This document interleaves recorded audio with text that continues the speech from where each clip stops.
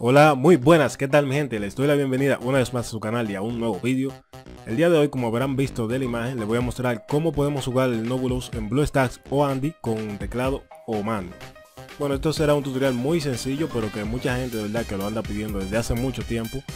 Y bueno, por fin me he decidido ya a que darle un tutorial para que, bueno, como veo que van a seguir preguntándolo, ya tener ahí como quien dice una respuesta lista. Bueno, eh, como pueden ver yo estoy jugando ahora mismo, tengo el, en el Blue Star y tengo el puntero fuera de lo que es el Blue Star como que estoy jugando. Ahora mismo estoy usando el mi mando, pero lo estoy usando con, con lo que es el x como pueden ver tengo el paddle abierto. Y gracias a él puedo jugar eh, con el mando, porque ahora mismo no tengo configurado para que reconozca el mando, ya que prefiero no tener el mando configurado, pero si, su boleta reconoce el mando, no, le va a hacer falta usar el x para jugar el juego.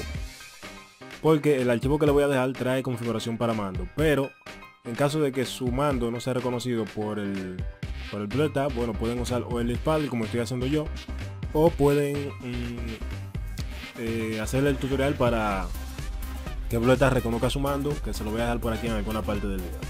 Bueno, vamos a comenzar con el tutorial lo primero que tienen que hacer es irse a la descripción del video donde les voy a dejar un enlace que lo va a llevar a una entrada de mi blog donde se van a poder eh, descargar este archivo que es el que va a ser posible que puedan jugar con el teclado o con un mando este juego en BlueStar o Andy.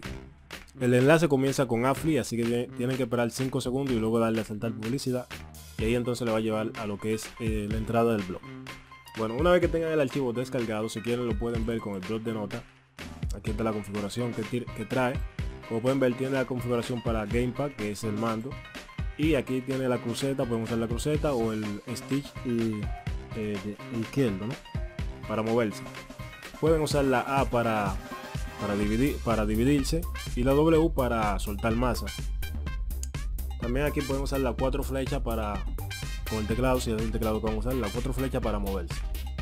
Bueno, una vez que tengan el archivo así descargado, lo que van a hacer es que se van a ir a el disco donde está instalado su pleta, aquí en mi caso el disco C. Se van a ir al archivo de programa, como pueden ver esta carpeta está un poco así como invisible, lo que pasa es que esta carpeta viene oculta por defecto en Windows y tenemos que hacerla visible para poder entrar a ella. Si ustedes no la tienen visible, lo que tienen que hacer es de Windows 8 en adelante creo, se pueden abrir cualquier carpeta y irse aquí donde dice vista, opciones de carpeta y le dan aquí donde dice ver y se van aquí donde dice archivos y carpetas ocultos ya lo van a tener en no mostrar entonces lo ponen en mostrar. También si quieren pueden acceder con los buscadores que trae Windows ponen opciones de carpeta. A ver. En este caso en Windows 10 es opciones de explorador de archivos. Como pueden ver aquí me manda ya lo que es la configuración. O si no pueden ir directamente al panel de control y buscar opciones de carpeta o de archivos. Aquí está y también desde ahí pueden hacer lo que es eh, la configuración para que se vea la carpeta.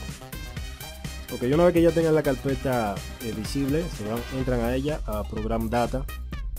Entonces van a ir a BlueStacks a user data y aquí donde dice input mapel pueden copiar el archivo aquí. O si no aquí donde dice user file que es donde yo lo tengo como pueden ver aquí es este. Que en cualquiera de las dos partes que lo pongan le va a funcionar.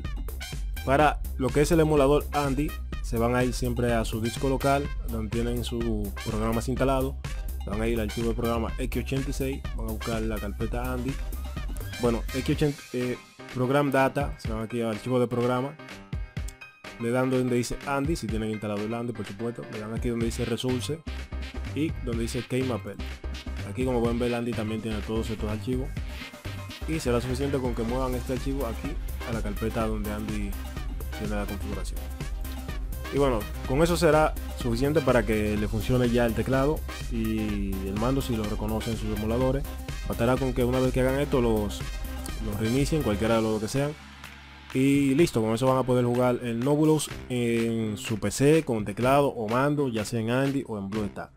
Espero que este tutorial les haya gustado y les sea mucho de ayuda. Ya saben, si ha sido así, no se olviden de dejar un like, suscríbanse para no perderse ningún otro tutorial. Si tienen alguna duda, alguna pregunta, ahí están en los comentarios. Y nada, yo soy Naka99 y nos vemos en el próximo vídeo. Hasta luego, chao.